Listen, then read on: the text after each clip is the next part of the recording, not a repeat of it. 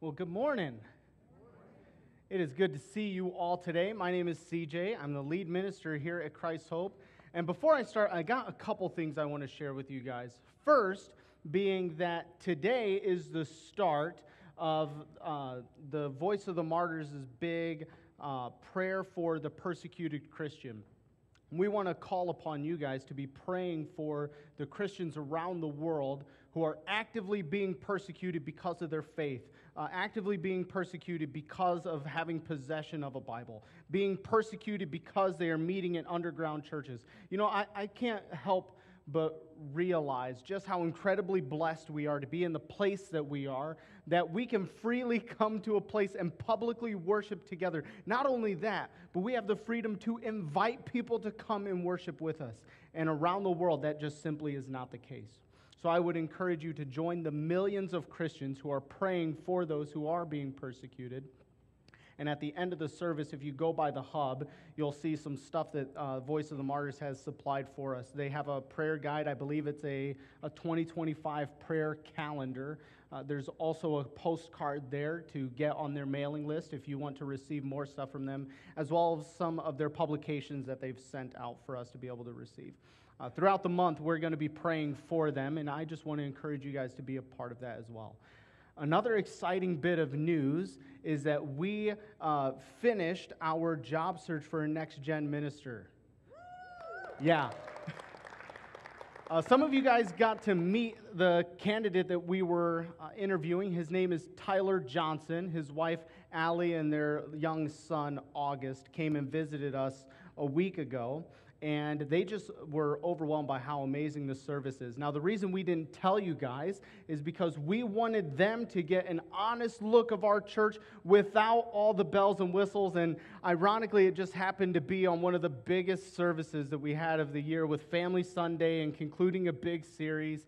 Uh, but it was an incredible experience. The whole process really has been one that we firmly believe God has orchestrated between uh, what was going on here within Christ Hope as well as what was going on with Tyler. And, and God just arranged everything, and it was an answered prayer that we didn't really have to go on this long journey. We were really expecting a, a lot of time in between, and God has just done an amazing thing. Next week, you guys are going to get to meet him officially and then we're hoping for him to begin his very first official start date, December 8th.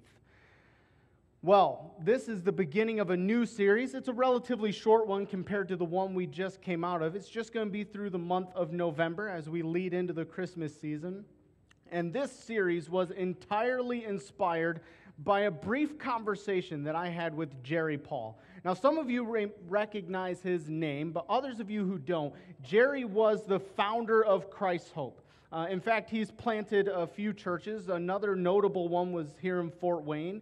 After he left that position, he went to Great Lakes Christian College. And then, after being the president there, he came here and founded this church. Now, my conversation with him really led into uh, understanding that Jesus bears a whole lot of titles but there are two really distinct and prominent ones that were not only given to Jesus, but that they were also claimed by Jesus. And that is that Jesus is Lord and Savior. Now, that latter title, the Savior one, it seems to be all the rage. Everybody loves a Savior, everybody loves a rescuer, and rightly so. When I think about Jesus, and the salvation that I have secured in Him, I look back at what my reality would be without Jesus. And the truth is, without Jesus, my own self destructive tendencies would lead me down a, a winding path of death and despair. Without Jesus being my Savior, I would have no real measure for what is good versus what is bad. Without Jesus being my Savior from the very first time I ever told a lie as little CJ, I would be eternally condemned, separated from Jesus. These are not attractive realities. They are not ones that anyone would desire for their own lives, especially when we long for an eternity with Jesus. But without Jesus being a Savior, those realities are the same consequences each of us will face without Jesus. So it's a good thing that Jesus is indeed our risen Savior. But the title of Lord, oh, it is less appealing than Savior. And I think in, in logic, claiming Jesus as Lord comes really easy for us. I think the difficulty comes in its practice. Because the truth is, I think there are things that most Christians, when they look at Jesus, that they find unattractive when it comes to Jesus' kingdom policies. They're just difficult. Some of them can be very uh, troublesome to just digest. And that shouldn't surprise you. Because the truth is, even Jesus recognized the difficulty of some of his teachings. He recognized that for some people, they will be able to grasp it and hold on to it, but for others, it will be a complete and utter mystery to them. And often he would describe it in his teachings. He would say, The one who has ears, let him hear. Essentially saying, Those of you who can accept this, those of you who can understand it, I hope you accept it. Now, there are some, all within Scripture, well, all of them are within Scripture, but there are some that when we come across as individuals, we have a hard time grasping even just the base part of it. We don't even have to look much farther than Matthew chapter 5. In the Sermon of the Mount, uh, starting with verses 21 and 22, Jesus says, You've heard that our ancestors were told you must not murder. If you commit murder, you're subject to judgment. But I say, if you are even angry with someone, you're subject to judgment. If you call someone an idiot, you are in danger of being brought before the court. And if you curse someone, you are in danger of the fires of hell. Well, Jesus, well, come on, I'm just angry. I don't mean the things I'm saying. I just, my frustration gets the best of me and, and my heart gets twisted and I say these, these aggressive things, but I don't really mean it. Well, there's a danger in that.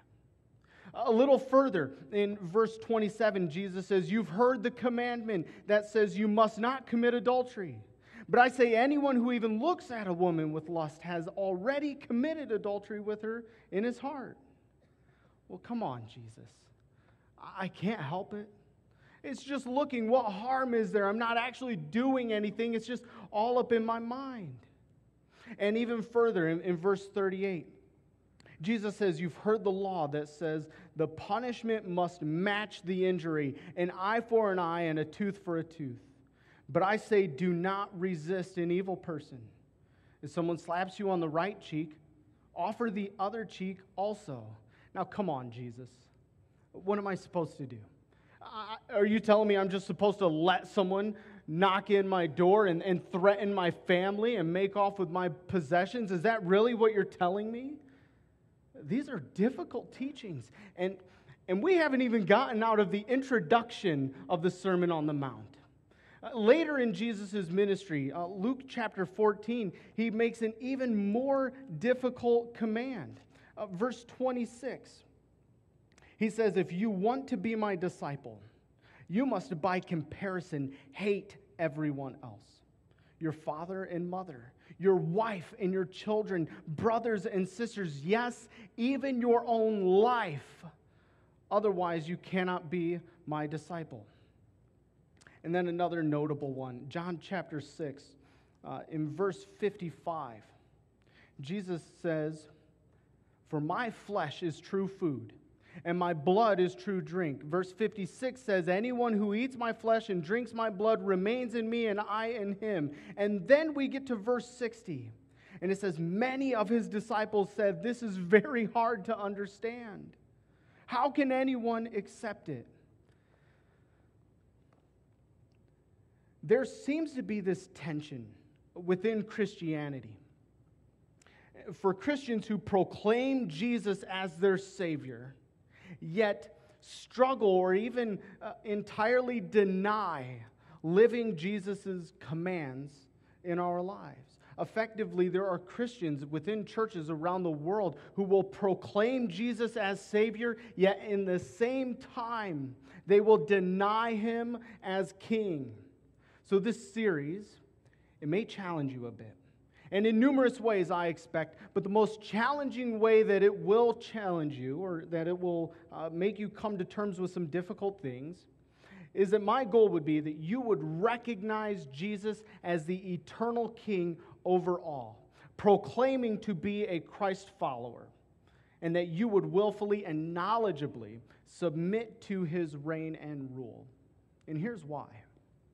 Throughout all of history, there has never been a king like Jesus. There just hasn't been. But we live in a world where there is a limitless number of things and people and parties and entities who are trying to pull you over to their side. And the more you are pulled, the more you will have this tension. And until you solidify who truly is king in your life, you will forever be pulled in all sorts of directions by these forces that are fighting to have themselves on the throne of your heart. And once you do solidify who's king, my hope is that you would choose once and for all the one true king, the Lord Jesus Christ, who is over all. And because of all of this preface this morning, I really want you to see one important thing. And that is if you want Jesus to be your Savior, you must also make him your sovereign. This all starts with the nation of Israel demanding a king. They were fairly young in their history at this point. And the problem that they really encounter here is that they already had a king, yet they chose to reject him. Now, God, from the, the birth, the, the, the conception of Israel, was the king. From the time God struck a covenant with Abram, God had committed to being their king. Essentially, the covenant was I will be your God. I will be over all of your life. I will bless all of the things that you do. I will bless those who bless you. I will curse those who curse you. I will be your king. And all you have to do, Abram, is for you and your family to choose me as king. I will be your God. You will be my people. And from that, he promised Abram, from one person, that nations would be birthed from this lineage. And as time went on, God kept his promise. And as those uh, generations grew, God was forming and molding and shaping his chosen people from one man into an entire nation. And as those generations pass, we get to a man named Samuel. And Samuel finds himself in an interesting predicament because he recognizes God's sovereignty, but it seems that others, even his own family, don't. And the reason it puts him in such a difficult position is that he is the prophet, he is a spokesperson for God. But the people did not see him as merely a spokesperson, they saw him as king. They had already rejected God. And they have chosen Samuel, and because Samuel is the mouthpiece for God, they listen and do whatever Samuel says. And so eventually what happens is the people approach Samuel in 1 Samuel chapter 8. And in verse 5, this is how the scene unfolds. All the people gather together and they say, Look, they told him, you are now old, and your sons are not like you. Give us a king to judge us like all the other nations have. Samuel was displeased with their request and went to the Lord for guidance. Do everything they say to you, the Lord replied, for they are rejecting me, not you. They don't want me to be their king any longer. And so Samuel does exactly what God told him. And the truth is, there's three major problems that take place right in these few verses. First, we already recognized they already had a king. It's not like they were leaderless, and Samuel wasn't even that guy. It was God Almighty. The second problem of this is that the kings of the rest of the world that they're observing and saying, We want a king like that, is the worst thing for them. All of those kings were terrible. And they were not the kind of ruler that God would want over his hand formed nation. And the third thing is that God didn't want them to be like those nations anyway. God intentionally chose them from that one man to be holy, to be set apart, to look distinct from the rest of the world. And so, all of this problem of them desiring to have a king, you know, on the surface, it doesn't seem that bad. But when you look at it deeper, it's not just a rejection of God, it's a rejection of his leadership, his, his vision, his, his mission for his chosen people. And God makes a point of telling Samuel, look, they're not rejecting you, they're rejecting me and everything that I've established. So, do exactly what they're asking you to do. And that begins a long history of monarchy for Israel. And throughout their history, they have some good kings. Uh, this is all of them. David was one who was the king before the nation split, and then the other eight are after the nation splits to a northern kingdom and a southern kingdom. But these are the only ones that the Bible says that they were good. And what makes them good when we read the Bible, how we know that is because for each of these people, it said that they did what was right in the eyes of the Lord. And so that solidified their position. Now, there is one interesting common thing that as you read about these kings, there is another notable thing. Some of those kings made it their effort to tear down all of the idols and destroy all of the places of worship throughout Israel. Some of them very aggressively. Others did not make an effort whatsoever. They were all still identified as good kings, but it's interesting that as you read about that, it specifically says so and so did this work of destroying idols, or so and so knew that there were idols and didn't really fight against it. Now I want to show you a list of the bad kings. That is a startling comparison. And when you look at the leadership of Israel overall, you can see a big, painful difference between the number of good kings that God said those are the ones who did right in the eyes of the Lord versus the bad kings who did not do what was right in the eyes of the Lord. Here's what I will say of these kings, though. What made these kings good or bad was universally determined by one thing and that was God's judgment of all of their works. And what this means to us is we, we have an easy way of believing this. God is the supreme judge over all the things that He created. If it's His hands that put it together, He gets to make the rules. And since He created everything, including His children, God bears the right to judge everything, including His children. And some of his children are judged in good light because when God's eyes saw what they had done, they had determined that what they had done was good in his eyes. And for some of God's children, God determined that what they had done was bad because when God looked at what they'd done, he had determined these are all evil, wicked, bad things. And for that, he made a point of saying they did not do what was right in the eyes of God. And these things need to stand out to us because good or bad, right and wrong, all of it is ultimately determined and decided by God's judgment and discretion. He alone holds the right to say what is right or wrong. He holds the right to say what is good or bad. He holds the right to say whether something is righteous or sinful.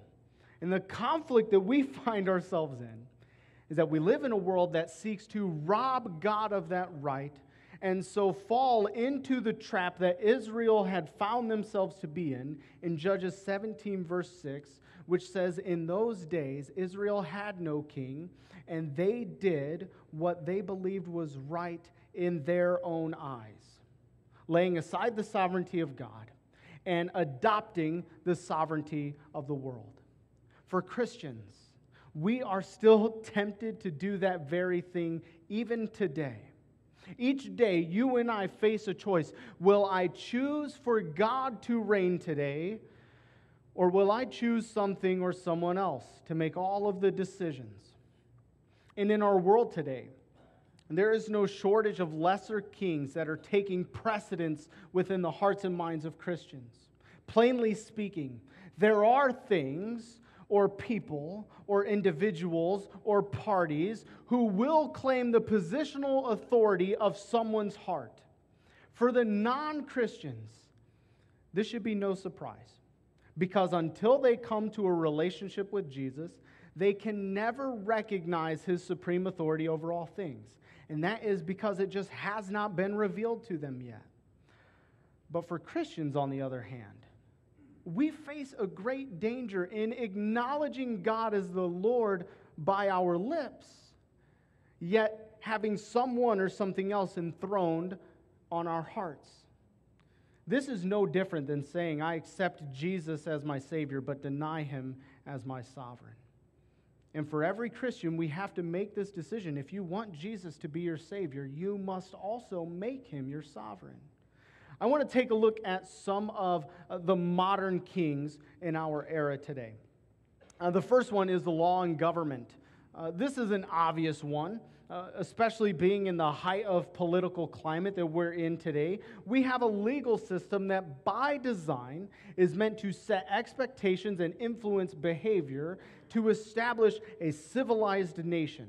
And so when a wrongdoer does wrong, they're punished. And when other people who obey the law, they have this freedom to live mostly quiet lives safe from prosecution. And that's not a bad thing. In fact, we often desire that. We want a legal system that is just. We want to be able to live quiet lives and not be bothered. And so, if we know the rules, we can accomplish that. Uh, Paul gets to this in Romans 13. He says in verse 1 everyone must submit to governing authorities. For all authority comes from God, and those in positions of authority have been placed there by God. So, anyone who rebels against authority is rebelling against what God has instituted, and they will be punished. For the authorities do not strike fear in people who are doing right, but in those who are doing wrong. What we see, though, is that there are divisions between we, the people, and those divisions tend to create a lot of problems amongst ourselves, we exercise our right to be heard and our opinions to be validated. And while doing so, there are things in place to allow that. And that's a great thing. But in about three days, a portion of our nation is going to win, and another portion of our nation will lose because that is just the nature of voting. Uh, at the end of the voting, there are winners and there are losers. And no matter what political party a person chooses, and no matter what political party wins, there is going to be a portion of the nation who lost, and because of that, they will feel crushed. And they will feel that an evil person that they did not choose was put in authority to make evil decisions. And no matter what your personal preference is, you likely hold the convictions that your preferred candidate will do more good and less bad. But the truth is, there could be someone who's sitting right beside you thinking the complete opposite candidate will do the exact same thing. That their candidate, though it's different from yours, will do more good and less bad. And the reality is, in this passage in Romans, Paul doesn't say, do your best to hold political sway.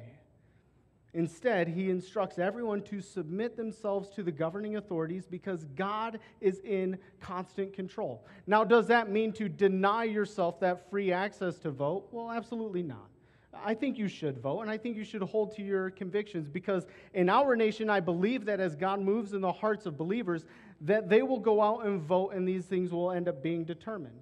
But ultimately, what Paul is saying here is that even in times where there's a bad king, it's because God has established it.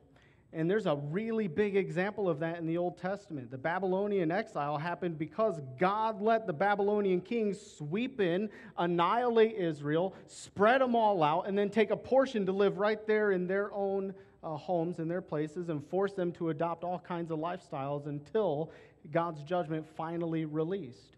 Now, we Christians, we know this in our heart of hearts. And we trust that this is the case. We trust that we have a good God who is always in control. Yet we allow the political climate and, and all of these things to sway our preferences. And, and through that sway, through that movement, we actually allow the political climate and the culture that it produces to actually sit on the throne of our hearts rather than God. And you might wonder, well, how do we do that? Well, most of the time, it's the way you treat each other. And in churches, boy, I tell you, I, I hate election time because I see Christians who normally love each other turn very divisive and aggressive against one another. I, I hear other Christians who say, you know, if, if you choose this candidate, I don't even know if you could be a Christian. Well, how could you? And, it gets so destructive across the board. And from a pastor's perspective, I see a church insult and invalidate and actively oppose for what? What difference will it make in eternity? What difference will it make when we're sitting around the throne of Jesus? It challenged me to ask a question Do you not truly believe that God's will is going to prevail in all things? And as a Christian who may not truly put their trust in God, those Christians will feel the pressure to try to control things that they really don't. And we can look past the hot topic of today. We can move beyond that because another king that rules our world is societal norms and cultural influences. Oh man, this is a big one too. Because insecure Christians will fold to the cunning words of influencers and they will cling to sound bites. They will form their entire ethos around TikTok and YouTube shorts and ramblings on Facebook. I did some research last week and I discovered something alarming yet fascinating at the same time. When we compared the average time spent in God's Word versus just on social media as a societal outlet, what I discovered is the average person spends two and a half hours on social media a day, which includes Christians. So the average Christian spends two and a half hours on social media, while the average Christian spending, uh, spends 30 minutes reading the Bible when they actually choose to read the Bible. The more alarming thing about that second part about Christians and reading the Bible is that only 11% of Christians actually devote themselves to reading daily. So if we do some math here, this means that a church of 150 people, in one year's time, you can expect that church of 150 to spend a cumulative 136,875 hours on social media versus 3,012 hours and 30 minutes reading the Bible.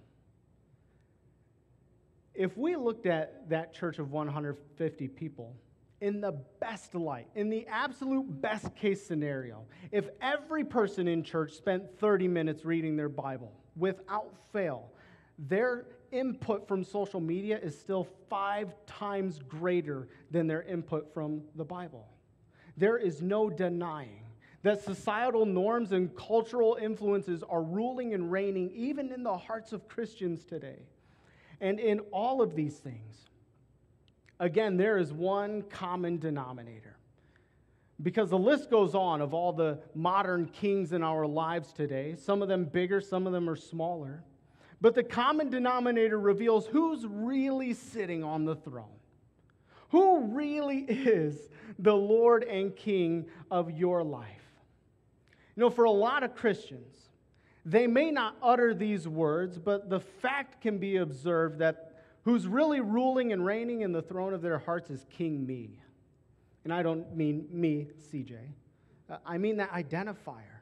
Uh, that a lot of Christians, when they get to choose who's really in control of their lives, it's just themselves. And for non Christians, this is second nature. It's second nature for them to put themselves on that throne because until they come to a relationship and in contact with Jesus, they feel that there is no one in the world or in history who will have greater care for themselves except for themselves. And so for them, it's first nature to make themselves king me. But for Christians, oh boy, we, we stake out the claim that Jesus is able to take greater care of us than we are able to do ourselves. And that his plans, his wisdom, it's all so much bigger and grander than ours. And even still, we deny him his throne and we choose to sit there instead. I want you to think about this for a moment. Because the truth is, not every Christian is that self seeking. Uh, in fact, many Christians, I believe, have Jesus enthroned on their hearts and locked in and permanently in that place, and nothing and no one will ever be able to take Jesus off of their throne. But even still, there are things, there are priorities, there are people, and, and just uh, things that rule in our lives that will fight. And when it fights, for other Christians, those lesser kings may temporarily or even eternally get themselves above God's priority in that person's life. And those things, those areas, those priorities, they were all put there not by anyone or anything except for King Me.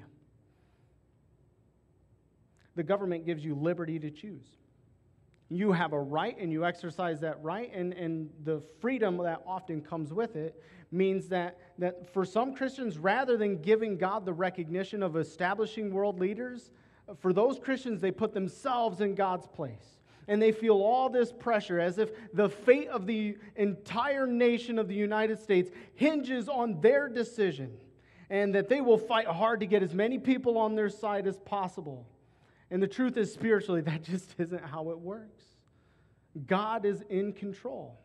And until you truly recognize that God is in control, you will find yourself often pointing fingers at people, calling them the problem, while you have an enemy who is laughing because uh, Christians are fighting a war, a war against flesh and blood that Scripture says that's not the enemy.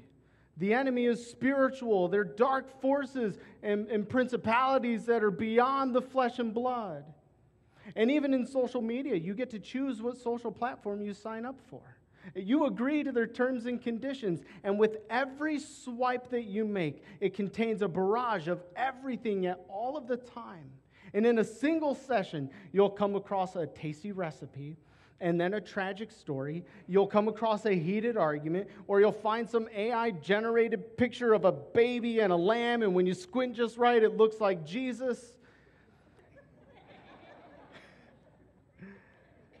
But the danger is the more time you spend in that environment, the more susceptible you become to entertaining the arguments and adopting them to become your own. Or finding humorous posts that, that might be humorous to you, but incredibly insulting to someone else.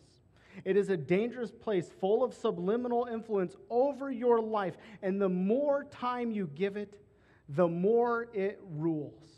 And we could go on and on. But the point is this when it comes to who is really ruling, there really are just two options it is either King Jesus or it's King me. And I would hope and pray that you have the humility and the strength to admit that King me is not a better king than King Jesus. Lord knows, when I look at my life, it is evident that Jesus is far superior to anything I will ever amount to. And I have to actively submit myself beneath his rule and reign because if I don't, I am tempted to put myself in that seat. But praise God that there is one who can rise above. Because in comparison, King Me is not the lion and the lamb. King Me is not the Alpha and Omega. King Me is not the King of Kings. King Me is not the Prince of Peace. King Me is not our portion and our strength. King Me does not set the standard for good. And King Me is not in control. King Jesus is. And so long as King Jesus is, I know that Savior is a very attractive title. Everyone loves the hero who saves the day. But if you want Jesus to be your Savior, you must also make him your sovereign. And in response to Jesus' rule and reign, there are three things that I think as Christians we need to be doing better. The first thing is that when God gives us the best, we should not demand different. like Israel, they, they already had the best king over them. And yet they denied him and they rejected him. And because of this, they suffered, and the world just continues to suffer the more we subject ourselves to these lesser and inferior kings. Also, number two, second, as a citizen of heaven, you and I are supposed to live, and we should actively live as if we only have one ruler. Your life is not a democracy. Your, uh, the, the code of conduct that you are meant to live by, it is not to be determined by popular opinion or a majority vote. You have one Lord and one King. And some boast in chariots, and others boast in horses. But we boast in the name of the Lord. And the grass withers and the flowers fade, but the word of the Lord endures forever. And the third thing we need to do is to accept Jesus' salvation and his sovereignty. And I put a lot of emphasis on that word end because the truth is you, you can't separate the two. You just can't. If you're going to live like Jesus is your king, you're going to obey everything he says. And when he says, if you obey these things, you'll enter into salvation. But there's a lot of us who want Jesus to be our Savior, yet truly do not desire Jesus to be our King. And if you tried to separate the two, you will find yourself to be no different than the Israelites who refused God and yet sought rescue from him when they found themselves in danger due to their poor decisions. And as this series unfolds, we are going to look closely at the words that Jesus uses to describe his sovereignty. He uses the word Christ, he uses that word Lord. And it's my hope and prayer that those who claim Jesus as the king of their lives that they would genuinely and truly live like he's king. And for those who claim Jesus as their savior and yet deny him his sovereignty, it's my hope and prayer that your heart will be softened this morning and every week following, that you would be able to both accept Jesus' righteousness as well as his royalty. Would you pray with me this morning? Heavenly Father, your word tells us that your ways are above our ways and your thoughts are above our thoughts. But there is a temptation, God, that our pride will puff us up bigger than than what we really are. God, I pray that you bring us to a place of humility. I pray that you bring us to a place of surrender. And I pray that in that surrender, we would submit to you in your entirety. That you are Savior, but you are also sovereign. And that those two things cannot be separated. God, I pray that this morning be a journey leading us through the sovereignty of Jesus and that in our lives, in practice, we would demonstrate that we are servants in your kingdom and you are the King Most High. It is in Jesus' name that we pray. Amen.